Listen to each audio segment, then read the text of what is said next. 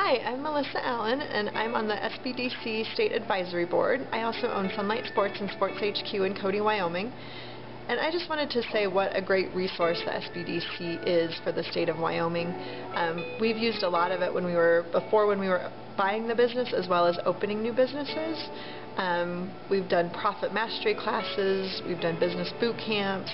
Um, the office has been super generous in helping us with everything that we could could possibly ask of them.